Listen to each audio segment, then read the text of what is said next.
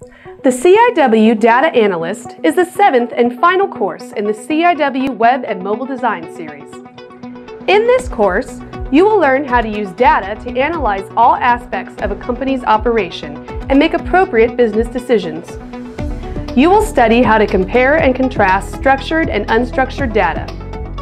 You will learn how to deploy tools for capturing and analyzing data, including Hadoop, R Project, and custom database solutions.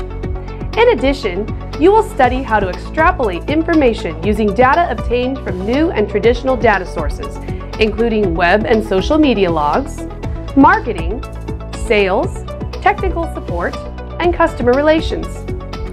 You will also learn how to determine relationships between organizational efforts and business outcomes. Finally, you will study the ways to capture and represent data, including creating dashboards, executive summaries, reports and charts while using traditional and web-based tools. As the most popular vendor-neutral web education and certification program in the world, individuals who earn the CIW Data Analyst certification have acquired the requisite skills to analyze and present information in today's data-driven world.